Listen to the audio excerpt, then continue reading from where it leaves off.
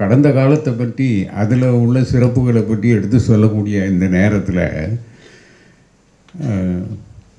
சரித்திர புகழ் வாய்ந்த அப்படிங்கிற அந்த ஒரு ஒரு வார்த்தை கோர்வையை யூஸ் பண்ணி சரித்திர புகழ் வாய்ந்த பேச்சாளர் சரித்திர புகழ் வாய்ந்த தலைவர் எழுத்தாளர் அப்படிலாம் சொல்லுவோம்.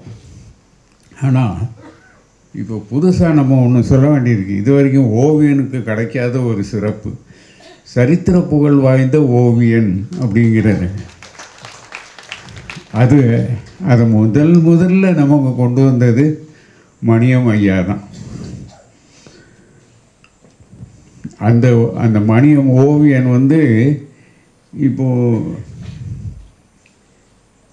எங்களை போன்ற ஓவியர்களுக்கும் உங்களை போன்ற ஓவிய ரசிகர்களுக்கும் எல்லோருக்கும் ஒரு சிறப்பை அவர் அன்னைக்கே கொடுத்துட்டு போயிட்டார் அப்படிங்கிறத இங்கே நம்ம எடுத்து சொல்கிறது தான். நான் அந்த ஒரு சின்ன ஒரு விஷயத்த அது அது எவ்வளோ பெரிய விஷயத்த நான் சின்னதாக சொல்கிறேங்கிறத நீங்கள் புரிஞ்சிட்ருப்பீங்க.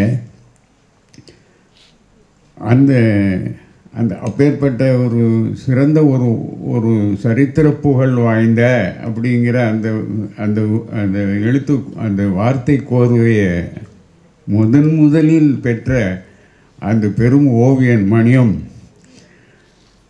அவர்களை தொடர்ந்து இப்போ நாங்கள்லாம் ஓவியராக இருக்கோம். அதை இதை எடுத்து சொல்கிறதுக்கு ஒரு வாய்ப்பு கொடுத்த அவருடைய புள்ளியே மணி மாசே. அவருக்கு நான் நன்றி சொல்லும்போது உங்களையும் கூட்டத்தை சேர்த்துக்கிறேன் என்னோட. அதோடு நான் எல்லாரும் சேர்ந்து மாசேக்கு பெரிய நன்றி நன்றி நன்றி சொல்லி.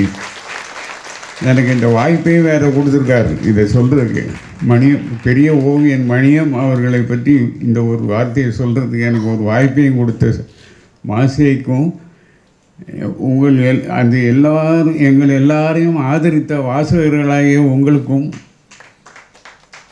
அது அதுக்கு ப- அதுக்கு படைப்பதற்கு வாய்ப்பு கொடுத்த எழுத்தாளர் ஒரு சிறந்த உயர்ந்த எழுத்தாளர்களுக்கும் நன்றி சொல்லிக்கொண்டு விடைபெறுகிறேன். தேங்க்யூ